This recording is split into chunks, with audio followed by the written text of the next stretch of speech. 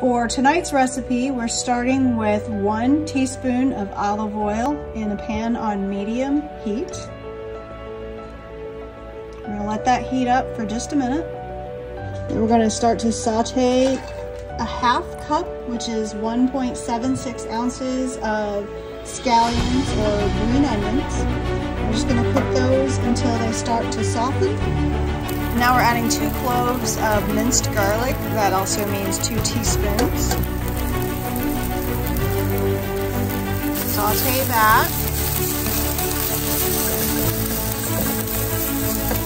And then we're adding in one 12 ounce package of frozen chopped spinach that has been thawed and patted dry.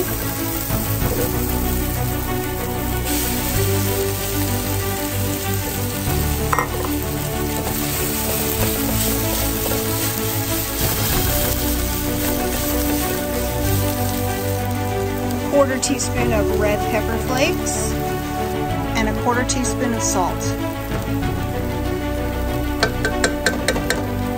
We're going to cook that while stirring for about two minutes.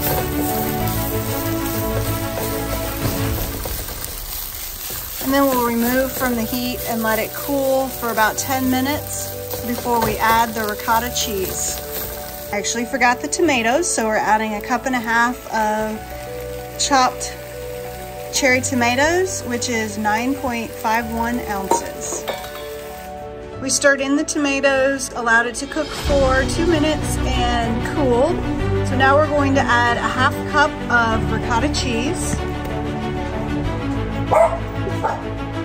We'll stir in the ricotta cheese. And once we have this mixed in well, we're going to divide this equally amongst the four salmon patties. We uh, cut those into five and a half ounce servings and place them on a lightly greased uh, baking pan that has a rim to it. So there's our salmon patties. I'll be putting the spinach and uh, mixture on top of those before we bake them. Okay, so we have the spinach mixture on top of the salmon pieces and we're going to bake it for 15 minutes in a 350 degree preheated oven.